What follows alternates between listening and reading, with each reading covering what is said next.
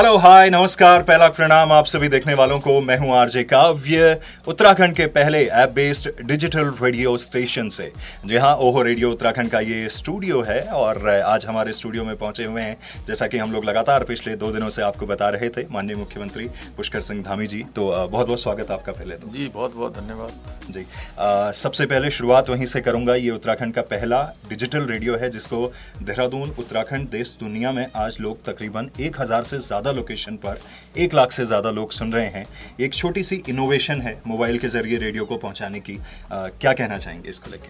नहीं ये बहुत अच्छा प्लेटफॉर्म है लोगों तक पहुँचने का। जी। मैं बहुत शुभकामनाएँ देता हूँ कि आप उत्तरोत्तर प्रगति करते जाएँ जी। और लोगों तक आपकी बात पहुँचे। जी। और जो लोगों का मन है हम्म। मन की बात है जी। वो आपके माध्यम से आपके पास आकर जी। उसका समाधान का रास्ता बने। जी। मेरी बहुत शुभकामनाएँ। जी। आ, आगे आपसे बात करूँ पिछले दो तीन दिनों पहले ही हरेले का त्यौहार निकला है। हम सबने पहाड़ में धूमधाम से मनाया है और बचपन से लेकर अब तक हम लोग मनाते आए हैं और उसका अपना एक महत्व भी है। आ, आपने एक बड़ा अच्छा इनिशिएटिव लिया उस पर कि बुके वगैरह ये फूलों को इधर उधर वो मत करके। आपको करना ही है तो आप पौधे गिफ्ट करिए एक दूसरे को। ये ख्याल कैसे आया आपके जहन में? देखिए जिस दिन से मुझे मुख्य सेवक के रूप में ज़िम्मेदारी मिली है हम्म। उस दिन से मैं देख रहा हूँ कि सैकड़ों की संख्या में नहीं कई हज़ारों की संख्या में लोग बुके लेकर आ रहे थे। जी। और इतने अच्छे अच्छे बुके थे हम्म। उनकी शुभकामनाएँ उसके माध्यम से मुझे मिल रही थी। जी। लेकिन बुके देने के बाद वो बुके जब हम रख रहे थे हम्म। तो मैंने देखा कि वो बिल्कुल यूजलेस हो जा रहे थे बाद में। मन नहीं कर रहा था उनको हटाने का जी लेकिन क्या करते हो हज़ारों की संख्या में थे और वेस्ट हो रहे थे हम्म। इसलिए मुझे लगा कि ऐसी चीज़ होनी चाहिए और जब हम हरेला पर्व मना रहे हैं हम्म। जो हमारे संस्कृति का हमारे जो है पर्यावरण का इसके संरक्षण का प्रतीक हमारा त्यौहार है इस त्यौहार के दिन मैं सभी से मैंने अनुरोध किया सभी से अपील की कि अगर आप मुझे कोई चीज़ देना ही चाहते हैं हम्म। तो आप जो है मुझे एक पौधा दे दीजिए। और मैंने कहा कि हम पौधा देंगे भी हम्म। और पौधा लेंगे लेंगे भी। दोनों चीज़ें हैं। हाँ। और इसका मैंने कल से महामहिम राज्यपाल जी से मैं मिलने गया था। जी। तो मैंने उनको भी कल हम्म। पौधा ही भेंट किया है। जी बहुत बढ़िया। बीस तारीख में अपन जानछा पहाड़ यात्रा में चमोली रुद्रप्रिया पिथौरागढ़ भर में थोड़ा सा बताओ। पहाड़ में एक्चुअली में किसी की मैल सोची कि सपन कहें पल्ली। हम्म। अपन पहाड़ में जाओ और वहाँ बटे जो है जुले वहाँ के लोगों की परेशानियाँ थन वहाँ की समस्या छन और जो सरकार उनर बारे में सोचुम रहे हम्म। और की काम सरकार करने वाल छ वो ओग लीजिए में सपन कहें पल्ली महल भल केदारनाथ जी में हम्म। वहाँ बहुत सारा निर्माण कार्य मोदी जी शुरू कर रहे हैं। पुनर्निर्माण कार्य जो आपदा आने के बाद बहुत काम हो रही हो और वो कामन में कतु प्रगति छ और नैया के काम करन छन वहाँ। हम्म। ओखिन में भल वहाँ केदारनाथ जी में जनक में प्रोग्राम छ। हम्म। वो बाद फिर अपन पार्टी कार्यकर्ताओं की मीटिंग छ और आम जनता सामान्य जनता और हमारे डिस्ट्रिक्ट एडमिनिस्ट्रेशन लोग हम्म। उनार दगाड़ बात कर फिर। जूले समस्या छन वो की समाधान हो सकते और सरकार तेज़ी एल तक जूले फ़ाइल रुक रहा हमिल कह रहा है कि एक ले फ़ाइल कह ले रुकन न चाहे। सब फ़ाइल जो है तुरंत उन्होंने जो है समाधान होना चाहे। तुरंत जो है जूले शासनादास निकलना चाहें शासनादास निकलना चाहें और साथ में तुरंत काम जो है ज़मीन में होन प्रारंभ से ओखिन हम्म। में भल जाना और इससे वो बाद में भल में रुद्रप्रयाग केदारनाथ और बाद चमोली फिर पिथौरागढ़ फिर उधम सिंह नगर में हम्म। फिर मैं खटीमा जाना खटीमा जब पहली चीज़ इसके के कोला ये खवाओ वो क्या चीज़ जो इजाक जो है सब जुले इजी बनू सब बढ़िया फिर एक तुम फेवरेट किसी उसी मेरे भट्टक चड़कानी अच्छा। हाँ। आ, आपकी जो पृष्ठभूमि है सैनिक पृष्ठभूमि है कनाली सीना में आपकी पैदाइश हुई सैनिक परिवार में फौज की परवरिश का या ऐसे परिवारों से आने का आपके ऊपर क्या इम्पैक्ट पड़ा? देखिए फौज ने एक तो मुझे जो सिखाया कि अपना कमिटमेंट जी। हर व्यक्ति की लाइफ में कमिटमेंट होना चाहिए। दूसरा मैंने अपने पूज्य पिताजी से इनका पिछले वर्ष देहांत हो गया। जी। हमेशा मैंने उनसे सीखा अनुशासन। हम्म। और फौज की तरह से काम करना। हम्म। यानी कि कोई भी परिस्थिति हो आपके अंदर चाहे कितने ही प्रकार की परेशानी हो लेकिन जो आपका कर्तव्य है उससे विमुख नहीं होना है उस पर डटे रहना है ये सब चीज़ें मुझे विरासत में फौज से ही मिली हैं। जी। जी। आ, आपने जो स्नातकोत्तर अपना था वो ह्यूमन रिसोर्स में करा उसके बाद एलएलबी और फिर मेरे को मालूम चला कि आपने उसके बाद में पब्लिक एडमिनिस्ट्रेशन में डिप्लोमा किया। क्या आप मानते हैं कि जिस पद पे अभी आप बैठे हैं वहाँ पर इन तीनों का बेस्ट यूटिलाइजेशन होता है? क्योंकि मैं आपके आसपास की टीम को देखता हूँ तो एक ह्यूमन रिसोर्स वाली चीज़ नज़र आती है कि युवाओं की फ़ौज है और बढ़िया एनर्जी में काम करते हैं। एल का अगर मैं वकालत की बात करूँ तो शायद अब आप पब्लिक की वकालत बेहतर तरीके से कर पाएँगे और जहाँ तक एडमिनिस्ट्रेशन में डिप्लोमा की बात रही तो शायद ब्यूरोक्रेसी से मैक्सिमम आउटपुट आप ले पाएँगे। क्या आप समझते हैं कि ये तीनों चीज़ अब बेहतर काम आएँगी? देखिए जीवन में जो पढ़ा होता है जो सीखा होता है वो काम आता है। जी। उसके बाद भी मैं ऐसा मानता हूँ हम्म। कि व्यक्ति पूरे जीवन भर हम्म। वो हमेशा शिक्षार्थी और विद्यार्थी रहता है। जी। उसको सीखने की जो उसकी सीमा है हम्म। वो अनंत तक है। जी। वो मैंने जितना सीखना चाहे जो करना चाहे जिस दिशा में जाना चाहे उस दिशा में जा सकता है। वैसे भी स्वामी विवेकानंद जी ने कहा है कि मनुष्य अनंत शक्ति और अनंत ऊर्जा का भंडार है। जी। जो युवाओं के हमारे प्रेरणा स्रोत हैं युवाओं के आदर्श हैं। हम्म। तो निश्चित रूप से हम मैंने अपने जीवन में इसको अपनाया है हम्म। कि मैं हमेशा कोशिश करता हूँ कि सीख सीख सीखने का। हम्म। और अभी जो मुझे नई ज़िम्मेदारी मिली है मुख्य सेवक के रूप में जी। उसमें भी मैं सीख रहा हूँ। जी। आ, अगर आपसे बात करूँ आपके हालिया कुछ इंटरव्यूज़ जब आप दिल्ली गए मैंने देखा कि पलायन से लेके भू कानून से लेके बहुत सारे मुद्दों पे आपने बात करी। उसके बाद आपने कहा कि मुझे इन सारी चीज़ों की जानकारी है बिकॉज़ मैं पहाड़ से ही आता हूँ और इस पर जब संभव होगा हम उस पर कदम भी उठाएँगे। पलायन को लेके और साथ में अभी कांवड़ को लेके स्पेशली आपने कहा कि भाई कावड़ नहीं होना चाहिए। आ, उसको लेके आप कैसे देख रहे हैं?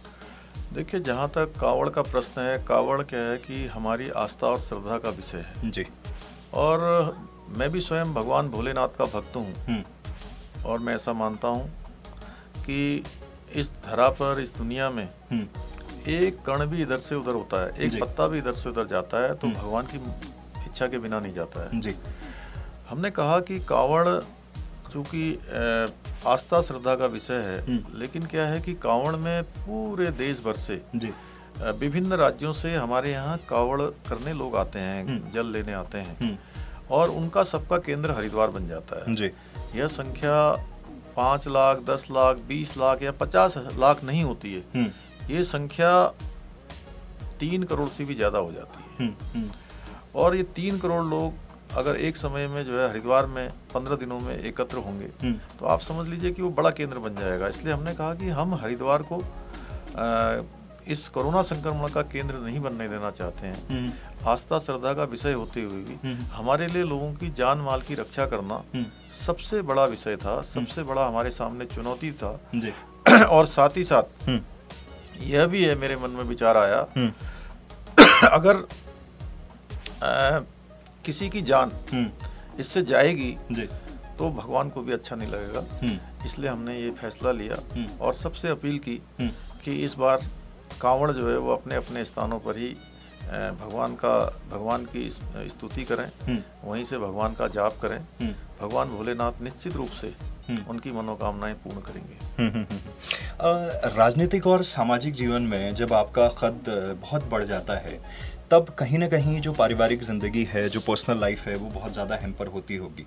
मैं ये इसलिए पूछ रहा हूँ क्योंकि मेरे को मालूम चला कि जिस दिन आपका शपथ ग्रहण था उसके अगले दिन ही आपने दोनों बच्चों को और गीता जी को वापस भेजा कि चलिए आप लोग उधर जाइए और मैं इधर अब क्योंकि जो पद है यहाँ पे मुख्यमंत्री का उस पर मैं यहाँ पे बैठा हूँ और जनता की सेवा करनी है। तो कितनी पर्सनल लाइफ हेम्पर होती है इन सारी चीज़ों से?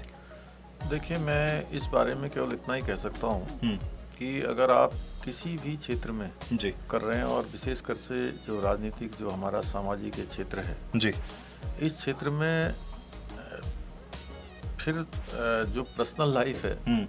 वो थोड़ा पीछे चली जाती है क्योंकि समाज पूरा परिवार हो जाता है। जी। प्रदेश आपका घर हो जाता है। जी। और इसमें मैं सौभाग्यशाली हूँ। मेरे पूज्य पिताजी जब थे उन्होंने भी हमेशा मुझे प्रेरित किया हम्म। कि बेटा समाज में काम करो देश के लिए काम करो प्रदेश के लिए काम करो हम्म। उन्होंने हमेशा कभी मुझे रोका नहीं हम्म। मेरी माँ ने भी हमेशा मुझे हालाँकि माँ का दिल जो है आप जानते हैं थोड़ा हमेशा भावुक होती है चाहे बेटा कितना भी बड़ा क्यों ना हो जाए हम्म। वो हमेशा माँ के लिए छोटा बच्चा होता है जी और मेरी पत्नी के रूप में भी मुझे जो है हमेशा उन्होंने भी सहयोग किया और मैं आपको बताऊँ कि।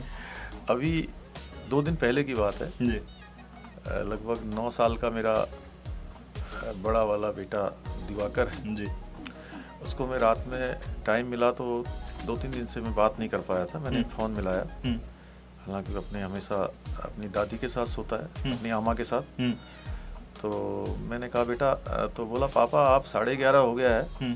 आपको दिन में टाइम नहीं मिलता अब आप सो जाइए। अच्छा। तो सबके अंदर एक भाव है कि मैं अगर समाज के लिए काम कर रहा हूँ तो वो लोग सहयोग करें। जी। छोटे बच्चों के मन में भी है जी। कि आप अपना काम करिए हम अपने आप को देख लेंगे। क्या बात है। जी। गुरुदेव रविंद्रनाथ टैगोर कहते थे कि जब परिस्थितियाँ विपरीत हों जब कोई आपका साथ न भी दे रहा हो तब आप अकेला चलो रे। और ये बात इसलिए कह रहा हूँ कि आपका एक संकल्प था कि विकल्प रहित संकल्प अपेक्षा रहित संकल्प। इसके क्या मायने हैं आपकी ज़िंदगी में? नहीं देखिए जब मैं अपने स्टूडेंट लाइफ में था या हम्म। मैं अपने विद्यार्थी परिषद में युवा मोर्चा में जब काम करता था हम्म। तो मुझे लगता था कि तब जो है जो हमने राह पकड़ी है उस राह में चलना है। हम्म। तो वहाँ पर जो है ऐसा लगता था कि जो काम करना है अकेले ही करना है। लेकिन अब जो है चीज़ें बदल जाती हैं। अब जो है सबको साथ में लेकर काम करना है। और सभी का साथ सभी का सभी का विकास सबका साथ सबका विकास और सबका विश्वास जी जो मोदी जी का ध्येय मंत्र है हम्म। एक जो है ऐसा वाक्य है हम्म। जिसको लेकर आज पूरे देश के अंदर आप देख रहे होंगे हिंदुस्तान के अंदर ही नहीं बल्कि दुनिया के लोग भी जी आज इस बात को मान रहे हैं हम्म। अभी कोरोना का समय आया तो एक तरफ़ जो है ऐसे देश जो अपनी लैबों में हम्म। अनुसंधान करके कोरोना जैसी महामारी ला रहे हैं। कोरोना जैसा वायरस ला रहे हैं। हम्म। और दूसरी तरफ़ हमारे देश के प्रधानमंत्री नरेंद्र मोदी जी के नेतृत्व में हमारे वैज्ञानिक हम्म। वैक्सीन बना रहे हैं। जी। और वैक्सीन केवल भारत के लिए ही नहीं दुनिया के अन्य देशों को भी देना का काम कर रहे हैं। तो ये हमारी जो संस्कृति है जो पहले से चली आई है तो ये सब दिख रही है। जी। आ, मैंने ये देखा है और क्योंकि जब आप मुख्यमंत्री बने, तमाम सारे लोग आपको जब मुबारकबाद देने आए ट्विटर फेसबुक के माध्यम से भी, और उसमें युवाओं की संख्या बहुत ज़्यादा थी। और जब मैंने आपके आसपास भी लोगों को देखा तो मुझे मालूम चला कि आपकी दोस्ती अपने से कम उम्र के लोगों से बहुत ज़्यादा है। और कॉलेज लाइफ में आपने कोई पोइट्री भी लिखी थी? ऐसा कुछ है क्या? जी बहुत सारी चीज़ें हैं। देखिए, ऐसा है कि उस समय में बहुत हम लोगों ने जो है मुश्किल हालातों में काम किया है जी। और मैंने आपको बताया कि बचपन में हम्म। लोगों ने पाठी में पढ़ाई करी है जी तख्ती जिसको बोलते हम्म। हैं वो तख्ती हम लोग स्कूल लेकर जाते थे हम्म। स्कूल से आते थे तो जितना उसमें हमने दवात और कलम से लिखा होता था उसको शाम को मिटाते थे और उस समय में जो हमारे टॉर्च के सेल होते थे जी। या रेडियो के सेल होते थे वो जब पूरी तरह से उनका यूज़ हो जाता था हम्म। तो वो काले हो जाते हैं अंदर हाँ, से उसको निकाल के तो हम जो है उन सेलों को फोड़ते थे हाँ। उसको जो है मैंने पानी मिलाते थे उसमें हाँ। और पहले वो जो दवात से हमने कलम से जो लिखा होता था खड़िया से। उसको मिटाकर हाँ। दोबारा से उसमें जो है वो कालिक पोतते थे सेल की और कालिक पोतने के बाद जब वो सूख जाती थी तो फिर उसी दवात से हम्म। उसमें घोटा लगाते थे हम्म। और घोटा लगा के वो बिल्कुल चमक जाती थी हाँ। यानी कि हम बचपन में आरसी बोलते थे उसको हाँ, आरसी हाँ। जिसको दर्पण अभी बोलते हैं तो उस आरसी वो आरसी जैसा हो जाता था फिर उसमें लिखते थे हाँ। और घर से जो है हम लोग एक जो है जो टाट का कट्टा होता है हाँ। आ, या तो खाद का होगा हाँ। या किसी गेहूँ का या धान का हाँ। रखने वाला उसको आधा फाड़ते थे हम्म। आधा उसको अपने बस्ते में रखते थे हम्म। उसको लेकर बिछाते थे और हम लोगों ने ऐसे पढ़ाई करी है इसलिए उस समय में जब हम मैं लखनऊ विश्वविद्यालय में पढ़ता था हाँ। तो भी संघर्ष के दिन थे हाँ। तो हमने कहा कि उस समय में जो है तो कहते संघर्ष के इस दौर में भी चल रहा है जीवन संघर्ष के इस दौर में भी चल रहा है जीवन भाव को अभाव में भाव को अभाव में छल रहा है जीवन। मित्र मिले साथी मिले मित्र मिले साथी मिले पर मैं न मिला मुझको हम्म। पर मैं न मिला मुझको। अब देख लेना पल पल में जल रहा है जीवन पल पल में जल रहा है जीवन भाव को अभाव में छल रहा है जीवन संघर्ष के इस दौर में भी है चल रहा है जीवन है चल रहा है जीवन। क्या बात है ज़बरदस्त। तो आ, आप अपने युवावस्था की बात कर रहे थे लखनऊ विश्वविद्यालय की। आज जब हम भारत के परिप्रेक्ष्य में देखते हैं कि युवाओं की संख्या बहुत ज़्यादा है और उत्तराखंड में भी और उत्तराखंड के युवा हमेशा रोज़गार की बातें करते हैं। पिछले कुछ दिनों से कुछ महीनों से सालों से अगर हम देखें दो चार साल से स्वरोजगार को लेकर बहुत चीज़ें यहाँ पर हो रही हैं। वो कौन से सेक्टर हैं जिनमें आपको लगता है कि हमारे पहाड़ के युवा को फोकस कर करना चाहिए? देखिए आज पहाड़ में जिस प्रकार से पलायन हो गया है हम्म। बहुत हमारे गाँव के गाँव खाली हो गए हैं लोग रोजी रोटी की तलाश में बाहर चले गए हैं हम्म। तो हम उनको वहीं पर रोज़गार दे सकते हैं हम्म। वहीं पर हमने उनके लिए कोई व्यवस्थाएँ कर सकते हैं स्वरोजगार के माध्यम से आ, कुछ सरकार की ऐसी हम पॉलिसी लाकर कि उन लोगों को अब उनके घरों में ही कुछ काम करने को मिल जाए। इसी प्रकार से हमारे युवक मंगल दल हैं महिला मंगल दल हैं हमारे जो है स्वयं सहायता समूह हैं सभी के साथ मिलके होम स्टे की योजना है हम्म। इन योजनाओं को पर्यटन की योजनाएँ हैं उनको सबको हम जो है धरातल पर उतार कर हम्म। लोगों को उनके स्थानों पर ही रोज़गार देकर हम्म। और हमारे यहाँ पर सीमांत क्षेत्र में आईटीबीपी है एसएसबी है जो हमारी नेपाल बॉर्डर और चाइना बॉर्डर पर लगी हुई हैं उनके साथ उन स्थानों पर जो है कोई टाई अप करके उनके साथ कुछ मिलकर हम योजना बना सकते हैं और इस क्षेत्र में आ, मेरा प्रयास है हम्म। कि आगे चलकर मैं इस क्षेत्र में काम करूँगा। जी।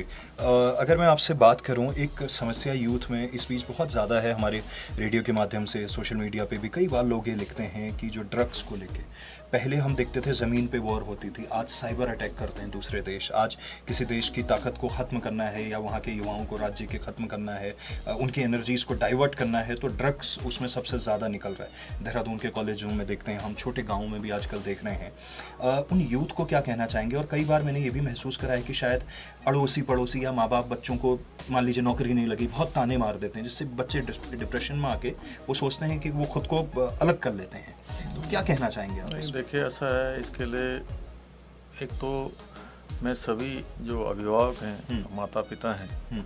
उनसे भी मैं अनुरोध करूँगा कि अपने बच्चों पर अनावश्यक रूप से हम्म। बहुत ज़्यादा एक्सपेक्टेशन न थोपें जी उसके कारण से कई बार बच्चे जब उनकी एक्सपेक्टेशन पूरी नहीं हो पाती हैं या उनसे जो एक्सपेक्टेशन होती है अगर वो उस पर नहीं काम कर पाते हैं तो वो निश्चित रूप से डिप्रेशन या अन्य जो स्थिति मानसिक अवसाद की होती है उसमें हम्म। चले जाते हैं। हम्म। ऐसा कदम उठाते हैं। दूसरी तरफ़ कुछ ड्रग्स माफिया कुछ इस प्रकार के रैकेट चलाने वाले लोग हम्म। माफिया गिरोह के लोग वो जहाँ भी सक्रिय हैं मैंने पुलिस की पहली मीटिंग में जी। मैंने कहा है कि हम इस पर बहुत सख्ती से काम करेंगे और जो पॉकेट हैं उन पॉकेटों को हमने कहा खोजिए और वहाँ पर सीधे उन पर कार्रवाई करिए। जिससे कि जो हमारे जो ये नौनिहाल हैं हमारी आने वाली पीढ़ी है हम्म। वो पीढ़ी जितना खराब हो रही है हम्म। उसको रोकने के लिए हम हर संभव कोशिश करेंगे और इसमें हम पूरे तंत्र को भी लगाएँगे। जी जी। आ, महिलाओं की संख्या बहुत है उत्तराखंड में। महिलाओं ने हमेशा हमारे यहाँ गौरा देवी जैसे उदाहरण हैं और भी बहुत सारी महिलाएँ हैं जिन्होंने हमेशा सबको साथ लेके चला है। और ये मैं आपके संदर्भ में भी कहूँगा मैं जब से आप मुख्यमंत्री बने हैं मैं गीता जी को वहाँ पर देख रहा हूँ जिस तरह से वो एक्टिवली काम कर रही हैं परिवार भी संभाल रही हैं बहुत सारे कार्यक्रमों में भी जा रही हैं। कुछ दिनों पहले मेरे को एक ट्वीट आया एक महिला नंद प्रयाग की वो जंगल में घास लेने गई हुई थी और घास का काफ़ी बोझा सर पे था और एक हाथ में उनके मोबाइल पे वो हमारा रेडियो सुन रही थी। और एक दूसरी महिला ने ट्वीट किया उनके लिए कि देखिए जंगल में बड़ी परेशानी होती है पहाड़ों में लेकिन साथ में रेडियो सुनने का मौका मिलता है और बड़ा अच्छा लगता है। आप जो पहाड़ की महिलाएँ धीरे धीरे मतलब एक तरफ़ वो काम भी कर रही हैं दूसरी तरफ़ वो सोशल मीडिया ट्विटर भी चला रही हैं इसको कैसे देखते हैं?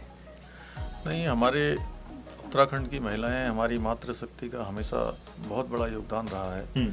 और हर क्षेत्र में महिलाएँ हमारी आगे हैं। जी। तो कोई क्षेत्र ले राजनीतिक क्षेत्र सामाजिक क्षेत्र पत्रकारिता का क्षेत्र एडमिनिस्ट्रेशन का क्षेत्र जी। हर क्षेत्र में महिलाएँ हमारी बहुत आगे हैं। और उत्तराखंड का आंदोलन हो जी।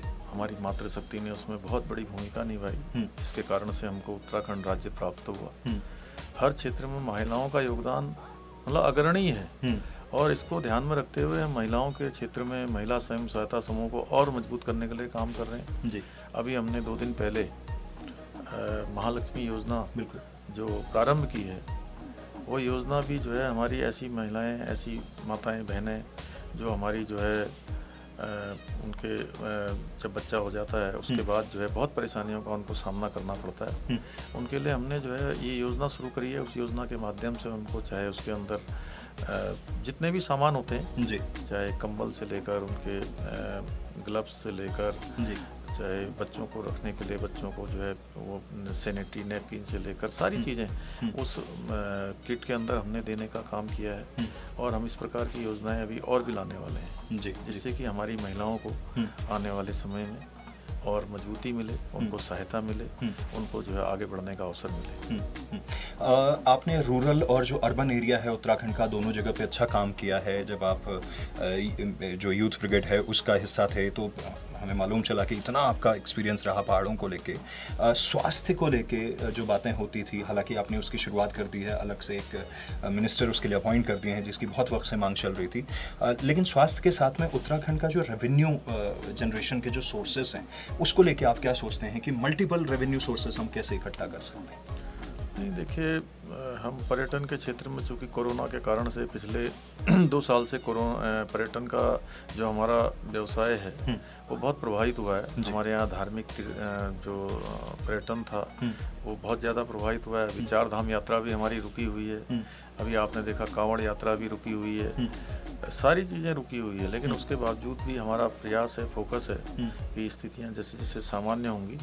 हमने कहा है कि नो पेंडेंसी। किसी भी क्षेत्र में हम पेंडेंसी नहीं रखेंगे।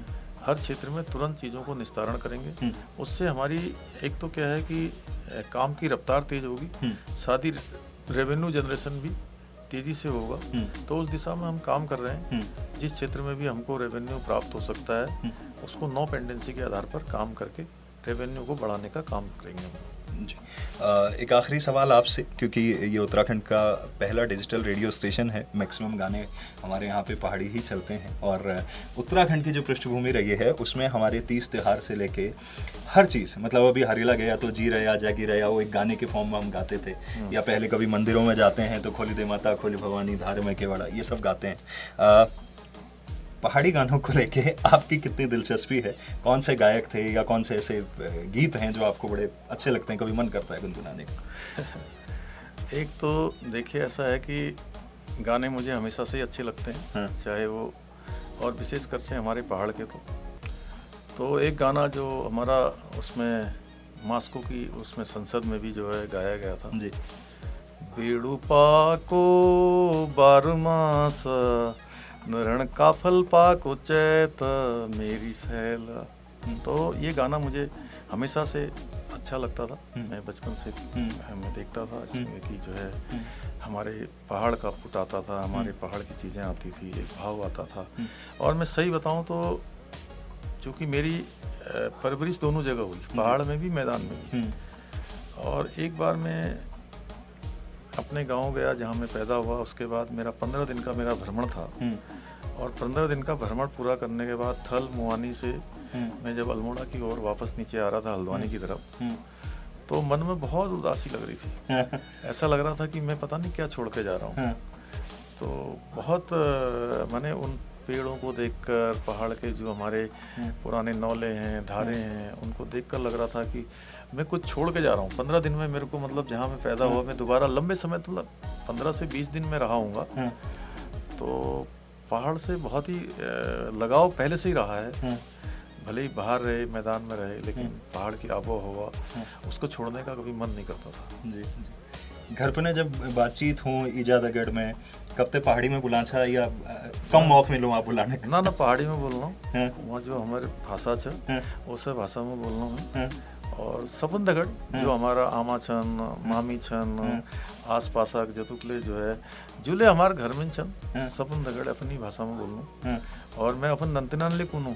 अच्छा। हाँ कि आमा आमाद है कि इजा इन नंदनान ले जो है हमारी भाषा सिखाओ। हाँ, और इन इसनो हो कि भला दिन जो है यो ये बात यहाँ भाषा ही भूल जान। बिल्कुल। तो यहाँ कैबिनेट में कब तक पहाड़ी में बुला ला? ताकि जो कम से कम शहर वाला ना लेकिन पहाड़ी जो हमारे एम एल ए जरा बुला ला जब प्रचार प्रसार चल। कोशिश कर ला। बिल्कुल बिल्कुल। तो ओहो रेडियो स्टेशन में आप अच्छा बहुत बहुत धन्यवाद। ये तुम्हारी पहली रेडियो इंटरव्यू है क्या? हाँ, यस पल, पल्लो छे पल्ली पहली छे। पहली छे? हाँ पहली छे। अरे वाह क्या बात है तो ये तो बहुत ही बढ़िया हो गया। बहुत बहुत धन्यवाद। तो आपको कैसा लगा ओहो रेडियो आके? बहुत बढ़िया बहुत अच्छा। हम्म। और आप आपके माध्यम से सभी लोगों तक जो है मेरी बात पहुँच रही होगी। जी। मैं सबका धन्यवाद करना चाहता हूँ और ये कहना चाहता हूँ आपके माध्यम से कि निश्चित रूप से जो उत्तराखंड का जन गण मन जी और उत्तराखंड के कोने कोने में रहने वाले हम्म। एक एक व्यक्ति के हम्म। जीवन में सुधार हो उनके जीवन को आगे बढ़ने में हमारी सरकार सहयोगी बने साझीदार बने हम्म। उसके लिए मैं संकल्पबद्ध हूँ। और उसके लिए मैं काम करूँगा बिल्कुल धन्यवाद। ओहो रेडियो मेरे हिल की धड़कन। पहाड़ी वाला ही ओहो है। ओहो नहीं बोला। हाँ ओहो। रेडियो उत्तराखंड मेरे हिल की धड़कन। डाउनलोड दिया नाउ